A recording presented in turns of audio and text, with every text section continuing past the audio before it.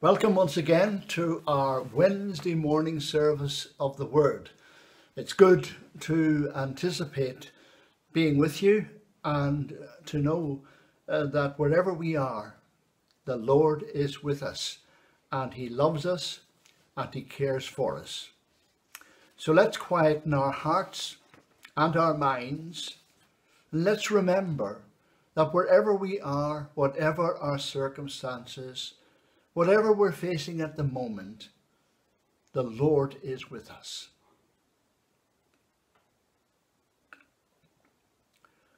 Grace, mercy, and peace from God our Father and the Lord Jesus Christ be with you. And also with you. Give us the joy of your saving help. And sustain us with your life-giving spirit. Once again, on a Wednesday morning, we come together in the name of Christ. We come to offer our praise and thanksgiving.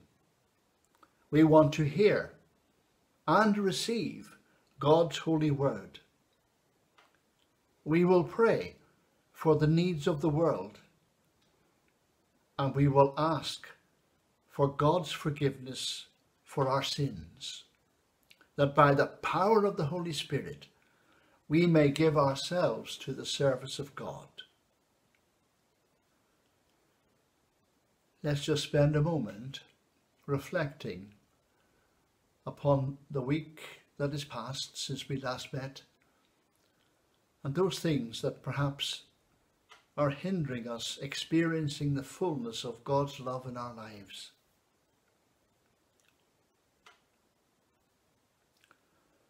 Jesus says, Repent, for the kingdom of heaven is close at hand.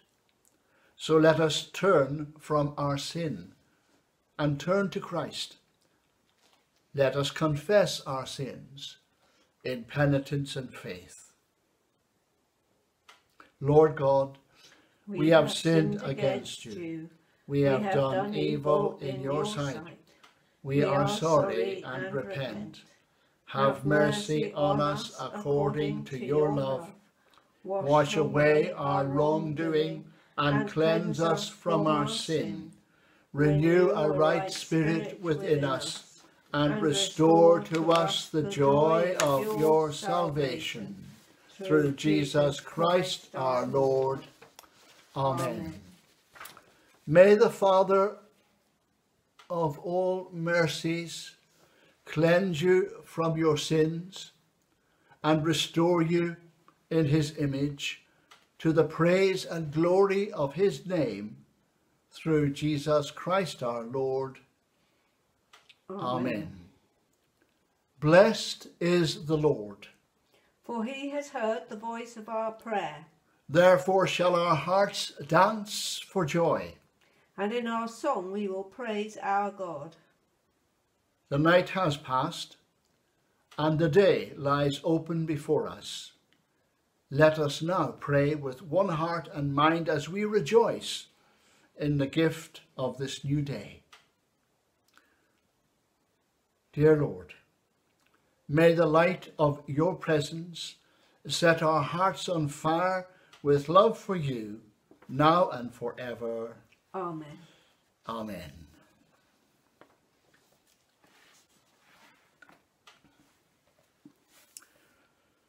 River,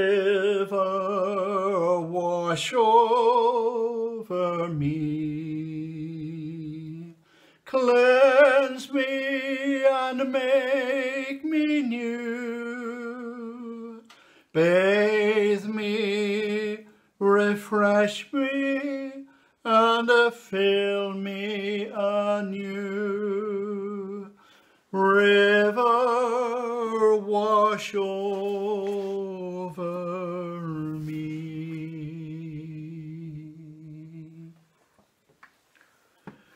Last Sunday, the Gospel reading was all about our Lord setting his face steadfastly towards Jerusalem and telling his disciples that he must die. And this particular part of the message didn't sit too lightly on the disciples' shoulders because it wasn't what they wanted to hear. But for all of us, you and I together, there are times in our lives when our Lord speaks into our situation and we don't like it very much. So we can easily identify uh, with the disciples when they said, let's hear something else. Let's hear something that's more pleasing to our ears. Let's hear something that will help us uh, to grow or help us to be blessed or encourage us in the way, but don't tell us about this business of dying on a cross. Well, they needed to know the truth of that message just as you and I need to know it uh, today. And when we look at the gospel for last Sunday, we will see, uh, first of all, that there is in it a call. And that call is to anyone. How pleased I am about that. And I hope you are too. That you're included in that word. Anyone. There may be people in life who would shun you or push you to one side or even not want to know you. There may be some in life who think you're not worthy. But that is not what our Lord thinks. He comes to us and he says, now look, this is my message. I'm going to die, but I'm going to rise again too. And my message is for anyone who has ears to hear and a heart to understand. But there's not only a call in that gospel, there is a choice, quite obviously. And that choice is, will I, dare I, do I want to follow someone who is going to die? Oh yes, I would like to follow a great warrior. I'd like to follow someone who would be a great uh, soldier and someone who would bring victory and in the disciples sense who would bring again the kingdom to Israel. This didn't seem to be the way. And so there was a choice that they had to make and eventually the disciples said, to whom can we go? For you and you alone have the words of eternal life. But that's a choice. No one can make it for you. The church can't make it for you. Your family can't make it for you. This has to be your choice and my choice to say yes to the message of Jesus and the person of Christ. But the gospel not only faces us with a call and a choice, it faces us with a cost. And the cost is if anyone would be my disciple, he take he will deny himself and take up his cross and follow me. Jesus never promised us an easy way of life. In fact, our Lord was always honest and open. Quite often before an election, politicians will make all kinds of promises and when they get into office they find they can't keep them. But our Lord is not like that. He is truthful. He is the truth. And he lays before us the path we are to follow. And that path is defined in two ways. First of all, by self-denial. Some people, of course, take a very negative point of view on self-denial. But in actual fact, when you think about it, there are many, many cases in life when self-denial is a good thing to do. For instance, there's lots and lots of people going around now with, uh, they're overweight. And wouldn't it be a good thing if they were to deny themselves the very things that were making them overweight? Denial is not a negative thing necessarily, it's a positive thing. Someone has said, can you do too much for those whom you love? And maybe we might say, Can I do too much for the Saviour who loved me and gave himself for me? Deny yourself, our Lord said, and take up the cross. And taking up the cross simply means, as with our Lord, to do the will of God and to be aware of the needs of others. David Livingstone, whom many of you will have known about, he had as a very severe illness that brought him back from Africa. And when he recovered, he expressed the wish to go back to Africa, and, and his family and his friends said, Look, you've done enough. For goodness sake, give yourself a break and settle here. But no, David Livingstone said, When I think of what he's done for me, I must do the little I can for him. And that is the sum essence of what it means to follow Jesus, to hear that call, to make that choice, and to face the cost. Now, let us pray.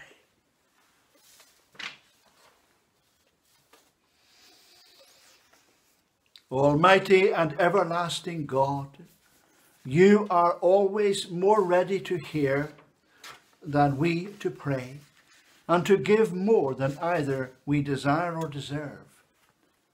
Pour down upon us the abundance of your mercy, forgiving us those things of which our conscience is afraid, and giving us those good things which we are not worthy to ask, but through the merits and mediation of Jesus Christ, your Son, our Lord.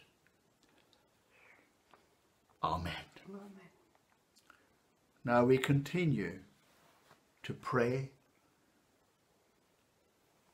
and open our hearts before the God of love as we pray for all who are affected by coronavirus through illness or isolation or anxiety. Oh, dear Lord, in your mercy, may they find relief and recovery. Lord, hear us. Lord, graciously hear us. We pray for those who are guiding our nation at this time and shaping national policies. Lord, May they be led by your Holy Spirit to make wise and right decisions. Lord, hear us. Lord, graciously hear us. We pray for doctors, nurses, and medical researchers that through their skill and insight, many will be restored to health. we pray for those known to us who are ill at this time. Peg Malpass, Anthony Staples, Anne Bateman, Betty Bailey, Kate Brantingham, Gary Pollock, Stephen Bradburn, Ken Wilkinson, Anne Higgs, Teresa and Isla. Catherine, Jenny, Richard Sliman.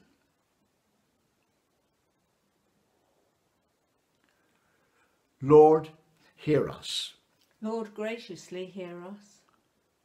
We remember before your throne of grace the vulnerable and the fearful. We remember the gravely ill and the dying. O Lord, may they know your comfort and peace. And at this time we remember before the Lord with thanksgiving Stuart May, Gladys Cash, Art Higgs, Kenneth Chilton. we pray too for their families and for all who will miss them in their passing from this world. Lord, hear us. Lord, graciously hear us. As we commend ourselves and all for whom we pray to the mercy and protection of God, we gather our prayers and praises into one as we say together, Our Father, Father in, heaven, heaven, hallowed be thy name. Your kingdom come, your will be done, on earth as in heaven. Give us today our daily bread. Forgive us our sins, as we forgive those who sin against us. Lead us not into temptation, but deliver us from evil. For the kingdom, the power, and the glory are yours, now and forever. Amen. Amen. And as we remember the gospel reading and how the disciples were struggling to understand the message that our Lord was giving, so the song may indeed speak to our hearts. Give me a sight, O Saviour, of thy wondrous love to me, of the love that brought thee down to earth to die on Calvary. Oh, make me understand it. Help me to take it in, what it meant to thee, the Holy One, to bear away my sin.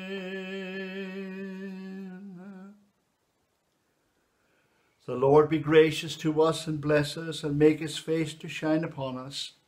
Help us to be a blessing to each other and our communities, that your ways may be known among us. Let all the people praise you, O God. Let all the people praise you. Amen. Amen. Go in peace to love and serve the Lord. In the name of Christ, Amen. Well, don't forget and tune in uh, next Sunday to the the morning service, which will be taken by Vicky. In the meantime, goodbye, God bless, and keep well.